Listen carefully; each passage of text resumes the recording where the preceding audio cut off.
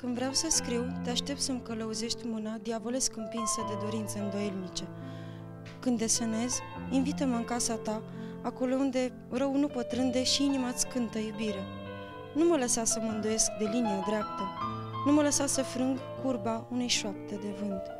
Vino, fără să te chem, odată cu aurora. Păzi de înger. O glumă clasică din timpurile clădirii comunismului se sfârșea cam așa. Într-o gloată de nemulțumiți de limitarea raților de carne la numai 2 kg pe lună, Ion era singurul fericit. Auzise el că pe lună lucrurile cântăresc cam de 5 ori cât pe pământ, iar lui 10 kg de carne îi se păreau de ajuns. Dezvoltând subiectul simplist dar generos, ajungem la ipoteza pe lună lucrurile stau altfel decât pe pământ.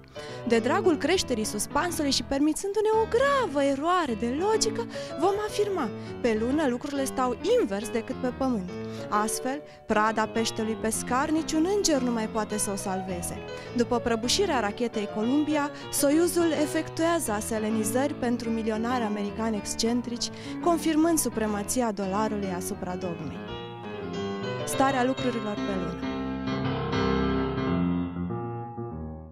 Veghetori uh, nu există în Dex ca substantiv, el există ca adjectiv, a fost uh, un exercițiu, așa o preluare din partea mea și eu i-am dat și o explicație. Sunt uh, persoane, personaje care nu pot să doarmă, care exersează starea de veche și uh, își uh, exersează uh, compunerea unei lumi uh, stranii. Pentru mine, veghetorii înseamnă Uh, creaturi care te ajută, uh, te adăpostesc, îți oferă sentimentul de protecție și te salvează atunci când ai cea mai mare nevoie.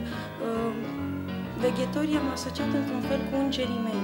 Îngeri înseamnă tot ce mă înconjoară și tot ce mi oferă senzația de frumos, de duios, de tandru. În lucrările mele există întotdeauna cineva care păzește sau veghează și cineva care este păzit sau vegheat. De obicei, cel care păzește e căpățat într-un balon sau sus pe un munte, iar cel care uh, este vegheat e în fugă, gata să iasă din lucrare spre o lume numai de neștiută. Dacă pentru colega mea veghetorii uh, duc spre senzația de protecție, în cazul meu uh, ei sunt mai degrabă niște paznici, niște străjeri.